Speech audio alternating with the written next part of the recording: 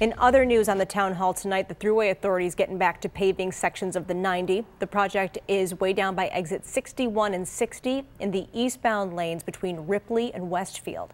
Thruway crews are doing a full repaving of the 13-mile stretch. The nearly $20 million project started last July and paused during the winter. There will be closures during the construction period, which is expected to wrap up sometime this summer. The Thruway suggests downloading their mobile app for any further updates.